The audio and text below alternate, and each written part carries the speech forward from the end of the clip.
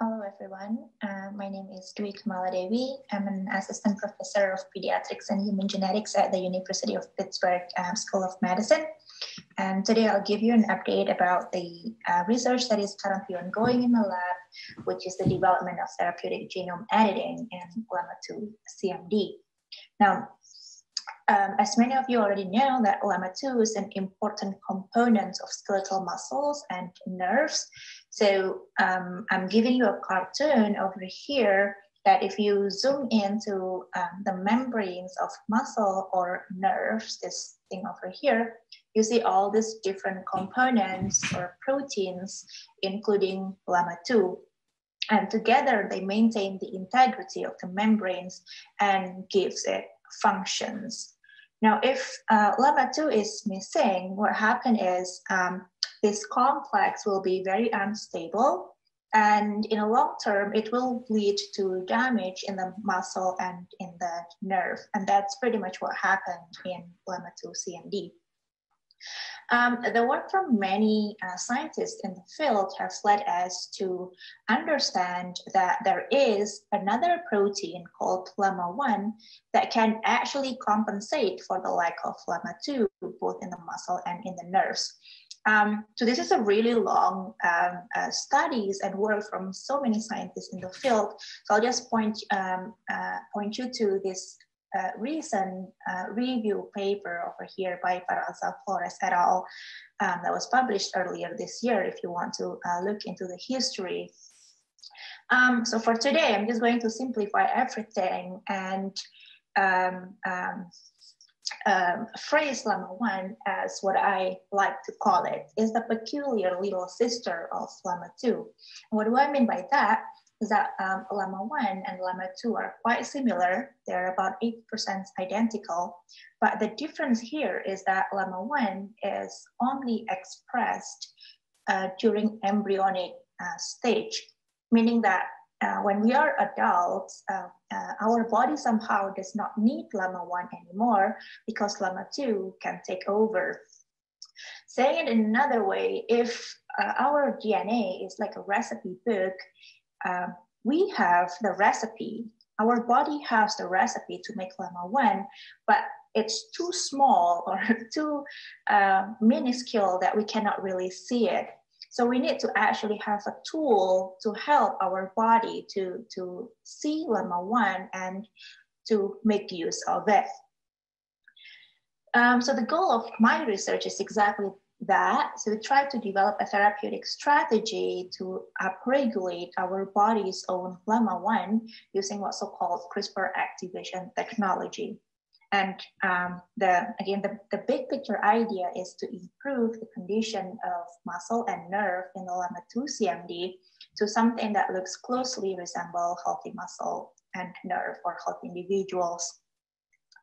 Right, so what is CRISPR activation technology? Before we go into nitty gritty, I'll just give you an analogy of, um, of what I think, uh, this, how I think this technology works. Um, if you are hungry, you and your uh, group of friends or your family are hungry, and you want to go to a restaurant that serves food, and food here can be um, equal to Lama 1, how do you use technology to do that?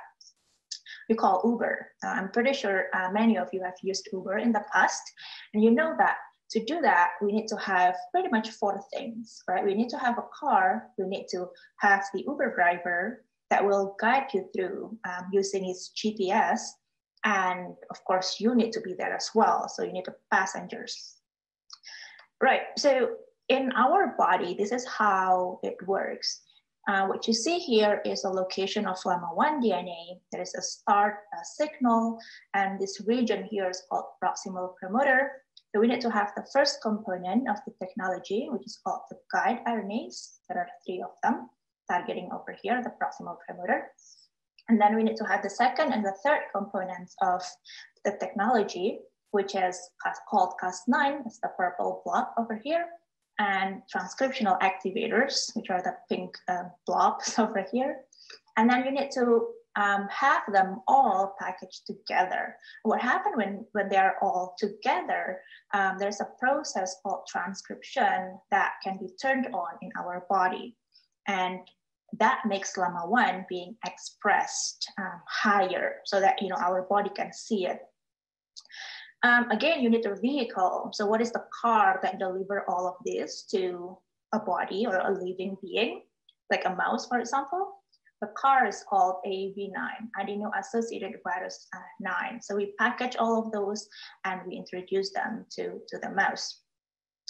All right, so we've gone through that. And this is um, practically how, how it looks. So we have two cars, we have two AAV9s. Uh, one carries the GCAS9, one carries the VP64, and then the other AAVs uh, carry the guide RNAs. We then inject it into um, a baby or a neonatal uh, pups of a mouse model called DY2J that has very low LAMA2 and it has no LAMA1. So we inject them quite early and then we analyze at the age of about seven weeks. So what, uh, what happened is over here, if you've never seen any um, LAMA2 CMD mouse model, this is your time over here, it has this characteristic of hind limb contracture and um, it's difficult for this mouse to, to move around.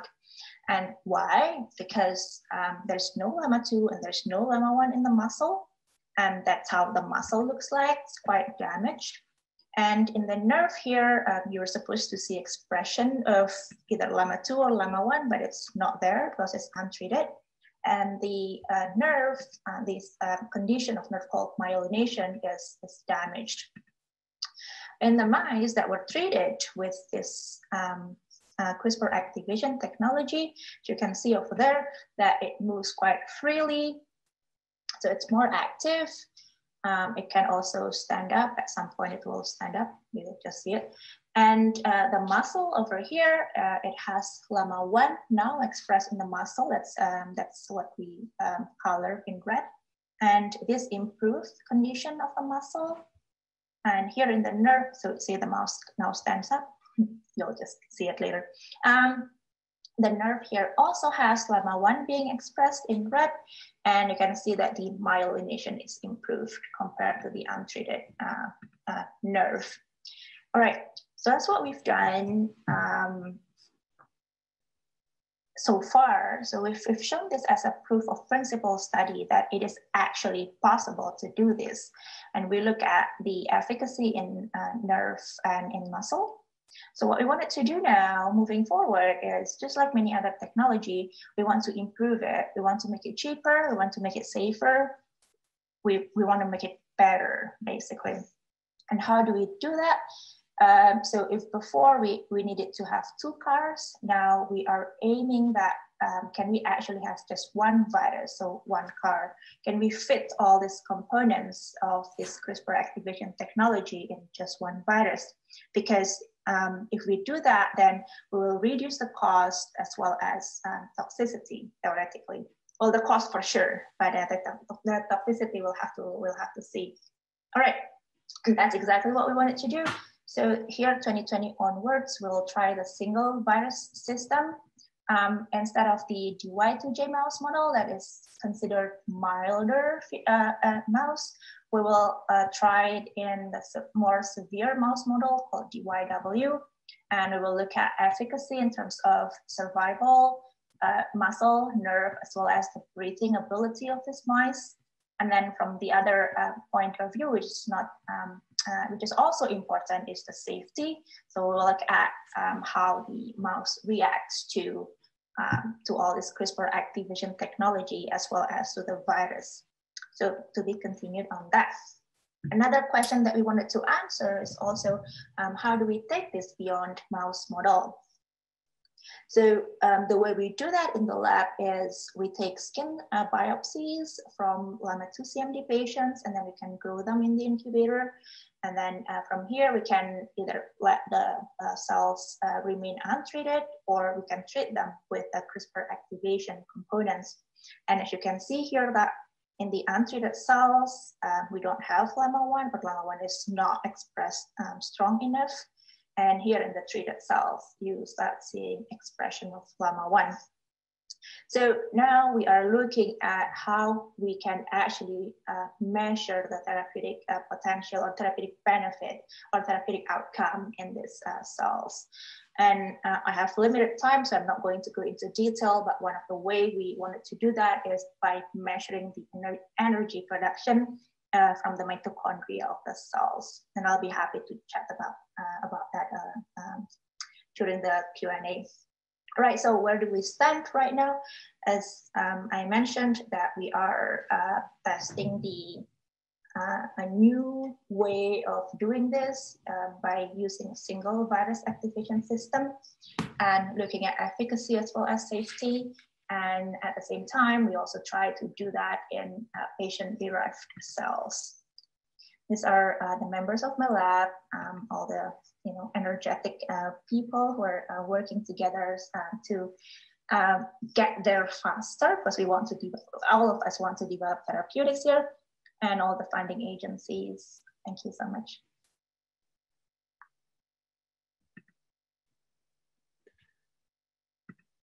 Thank you for that video. Are there any questions after or due to this narrative we just heard from Miss Ms. Kamaladewi?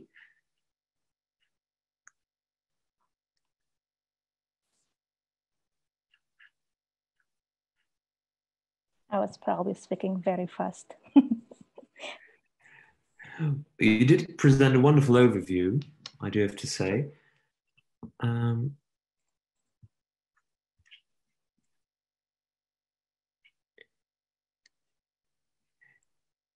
I'm going to be a bit blunt, but Mr. Bunneman, you've been listening to this as well. What are the key aspects of this narrative that are important for the patients or family members to take away from it?